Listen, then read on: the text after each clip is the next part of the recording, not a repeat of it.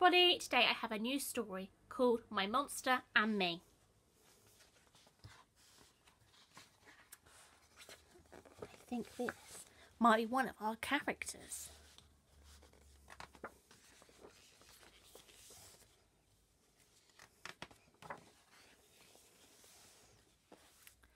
This is my monster and this is me. I've always known my monster. It's always been there. It knows all about me. Maybe my monster arrived when I did. Maybe it moved in when I learned to walk and talk. I don't remember. It was always big when it stood in front of me. I could see nothing but its huge tummy.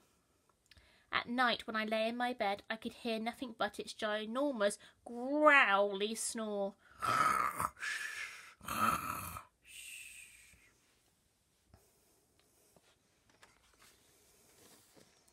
I wanted my mum to take it away, but when mum was there, the monster would hide. I wished my brother could take it away, but my monster hid again. I wanted dad to take it away, but it hid from him too.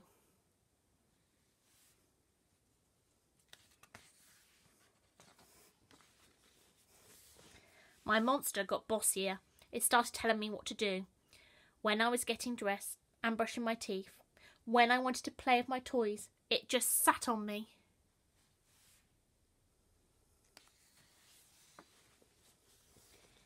It even made me stay indoors when my friends came to play.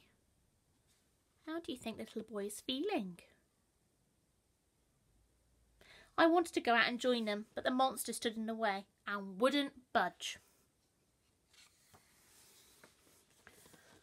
One day my monster was waiting for me after school. It was gigantic and it was in a bad mood. I tried to lose it, but I couldn't.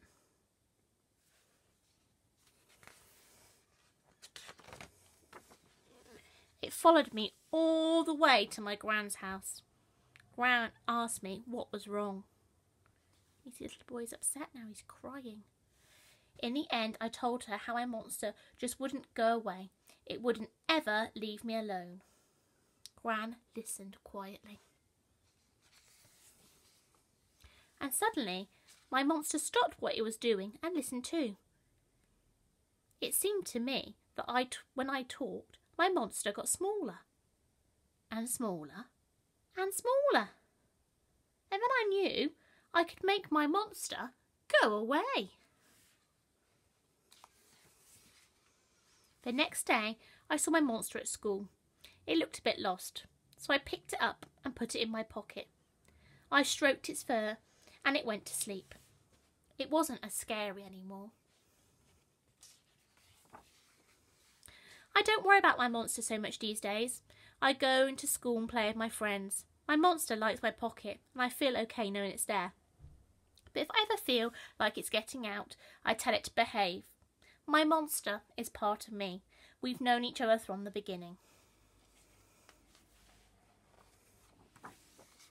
This is me, and this is my monster.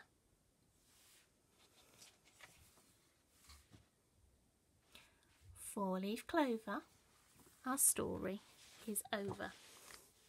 Today we've read My Monster and Me. I hope you've enjoyed it as much as I have. See you soon. Bye.